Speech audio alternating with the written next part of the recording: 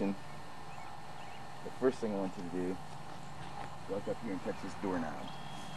Let's go, bud.